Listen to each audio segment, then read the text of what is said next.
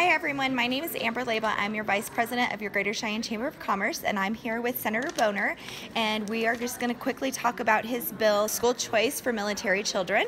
So Senator Boner, we would just like to know why this bill is so important to our community and what work is left to be done.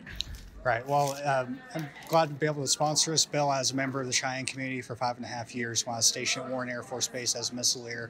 So something that's uh, near and dear to my heart. And, you know, so when I started reading in the news about some of the challenges that uh, uh, military folks and their dependents have been having with racism and harassment in the local uh, uh, community. I, I, was really disheartened to see that, but you know, been, been really heartened by the response from the vast majority of the members of the community.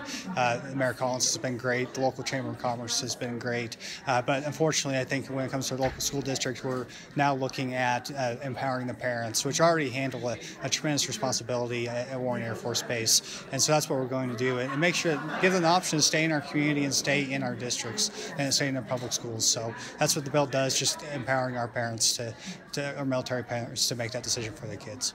Wonderful. Well, we thank you, and we're huge supporters of the bill, and we just want to thank you for all the work that you've done on this bill. Yeah, like I said, appreciate all your work, and we look forward to what happens in the committee here. Wonderful. Well, thank you so much. Have a good day.